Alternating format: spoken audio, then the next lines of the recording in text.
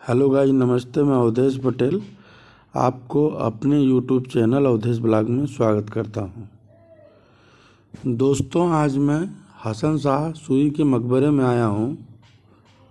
इसलिए आप हमारे ब्लॉग में अंत तक बने रहिए, क्योंकि मैं आपको हसन शाह सूरी का पूरा मकबरा घुमाऊँगा।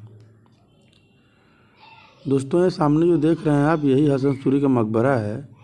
देखने में कितना शानदार है दोस्तों। मकबरे के अंदर मैं आपको लेके चल रहा हूँ दोस्तों।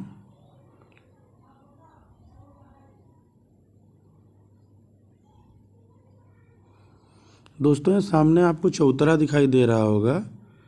इसी में हसन शाह सूरी जो है दफनाए गए थे और उनके साथ उनके परिजन लोग भी दफनाए गए हैं। देख रहे हैं, कई चौतरा आपको दिखाई दे रहा होगा। वीडियो के माध्यम से दोस्तों।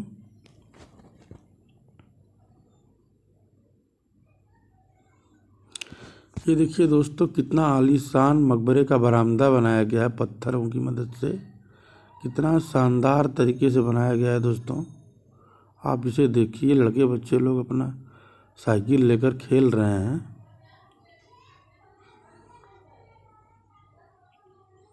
कितना शानदार तरीका का बनाया गया है दोस्तों बरामदा। देखने में कितना आकर्षण लग रहा है। कितना शानदार लग रहा है दोस्तों।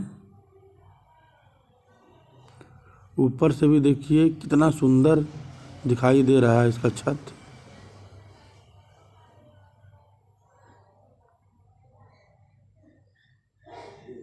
दीवालों पे दोस्तों सुंदर सुंदर डिज़ाइन बनाई गई है पत्थरों के ऊपर। आप उनका भी अवलोकन करिए, देखिए।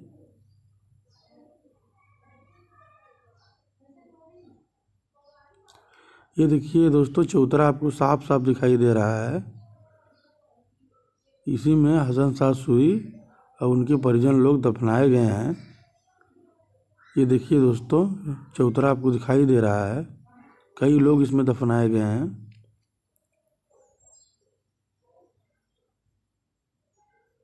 देखिए दोस्तों, कैमरे के माध्यम से हम आपको दिखाने की कोशिश कर रहे हैं। देखिए कितना अच्छे तरीके से यहाँ पर दफनाए गए हैं चौतरे के अंदर। ये देखिए दोस्तों, इसका पार्क है हसन शाह सूरी मकबरे का।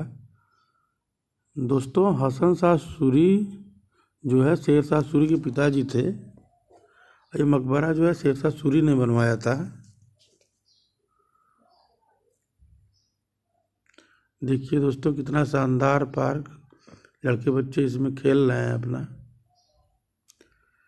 दोस्तों, हसन शाह सूरी का मकबरा जो है, इसका देख रेख पूरा तत्व विभाग करता है।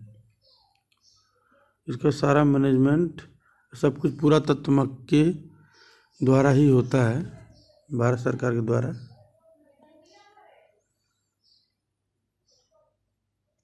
दोस्तों, इधर साइड में मस्जिद भी है।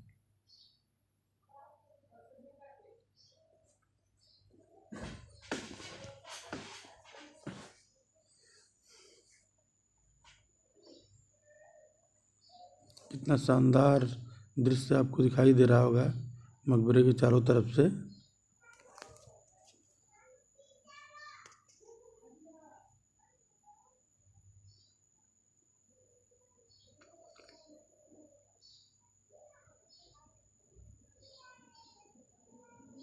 देखिए दोस्तों, बाहर से मकबरा कितना शानदार दिखाई दे रहा है, कितना अच्छा दिखाई दे रहा है दोस्तों।